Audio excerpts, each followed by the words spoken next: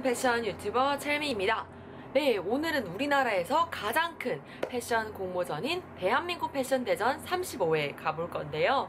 패션대전은 우리나라에서 이제 유명한 패션 디자인을 꿈꾸는 지망생들이 가장 참여하고 싶은 공모전 중 1위랍니다.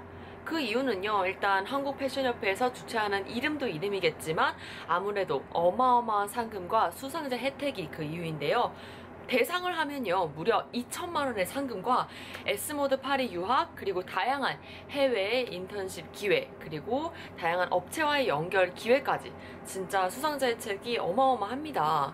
또 이렇게 저희같이 패션업계나 이제 패션을 공부하시는 분들에게 도움이 되는 것은 바로 이런 대한민국 패션대전 같은 공모전에서 사람들의 그 creativity and 창의력 그게 아주 폭발합니다. 멋이라는 게 폭발하는 겁니다.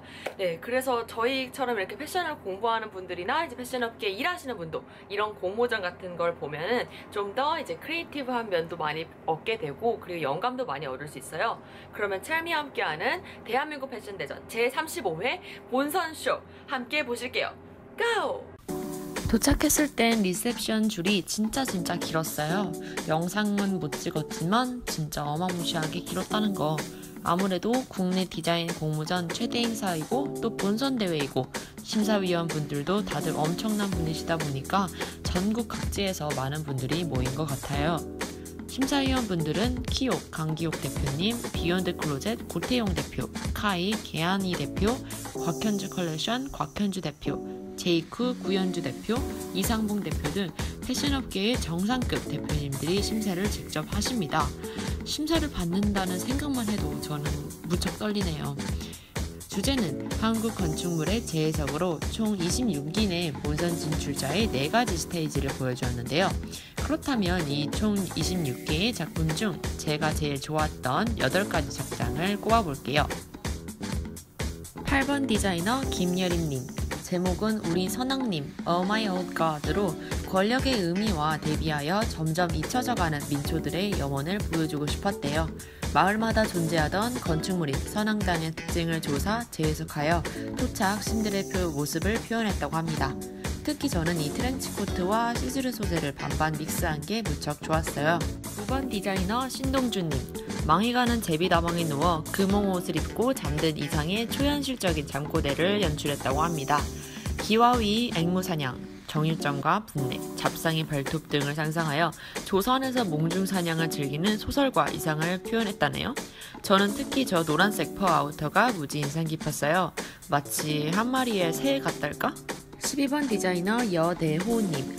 화재를 주제로 숭례문 화재에 대한 look을 만드셨는데요.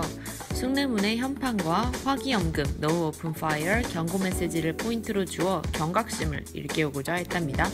특히 저는 레드 스트라이프 셔츠와 그린 패딩을 매치한 룩이 가장 인상 깊었어요. 14번 디자이너 황찬양님. 환생을 주제로 정반대 삶에 대한 환상을 표현하셨는데요. 종묘에서 광대로 다시 태어난 왕을 컨셉으로 풀어냈다고 합니다. 실크와 오간자 소재를 통한 디테일 표현이 매우 인상 깊었어요. 16번 디자이너 조본봄님. 담장을 넘은 궁전 음악대라는 주제로 담 밖에 있는 음악대를 담 안으로 끌고 오기 위해 타임머신을 타고 가 그들을 계몽시킨다는 이야기라고 합니다. 린넨과 PVC 그리고 체인 활용이 돋보이는 룩으로 딱 요즘 시즌 트렌드에도 맞아서 눈여겨본 룩입니다.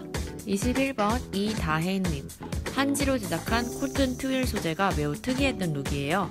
한옥의 처마에서 영감을 받아 옷에서도 구조적인 부분을 갖게 하였고 전통 민화 속 자연의 모습을 직접 패턴으로 만들어 자연을 담은 한옥의 이미지를 표현했다고 합니다. 25번 최지연님 원래 제가 이런 반반 믹스를 좋아하는데 제 취향을 딱 저격하신 룩입니다.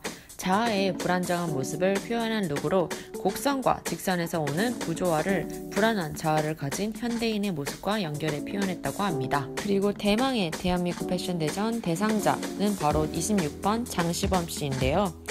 아름다운 사람들의 거리를 뜻하는 미인도로 조선에서 보여지는 우리의 건축과 그곳에서 사는 사람들의 모습을 동시대의 스트리트 패션으로 표현한 매우 현대적인 룩이었습니다. 이상 여기까지 패션 유튜버 첼미와 함께 제35회 대한민국 패션 대전을 살펴봤는데요.